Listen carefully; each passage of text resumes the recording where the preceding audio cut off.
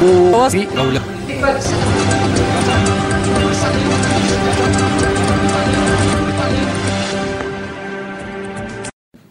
كنتم 14 سنة في المعارضة وتقولون ما زال باقي الحال.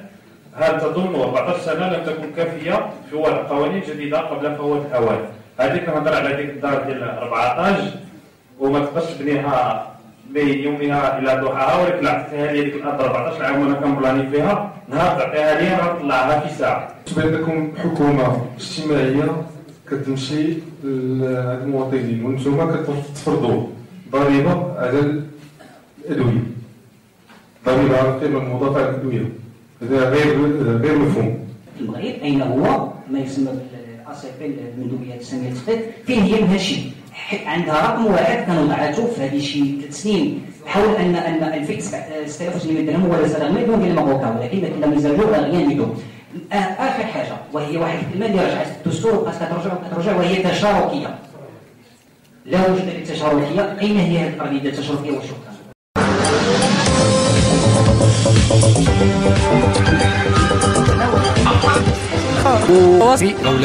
السلام عليكم